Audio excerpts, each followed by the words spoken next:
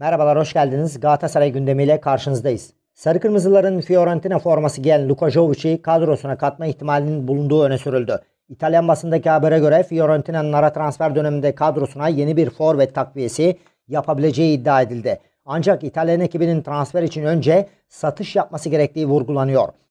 Fiorentina'da ayrılması gereken muhtemel isimler Cabral ve Luka Jovic. Cabral, Udinese ve Cremonense'nin ilgilendiği isimlerden biri. Jovic'in de takımdan ayrılması durumunda muhtemel duraklarından birinin Galatasaray olabileceği kaydediliyor. Frankfurt'ta gösterdiği performansın ardından Real'e 63 milyon euroya transfer olan Jovic, İspanyol devinde beklentilerin altında kaldı.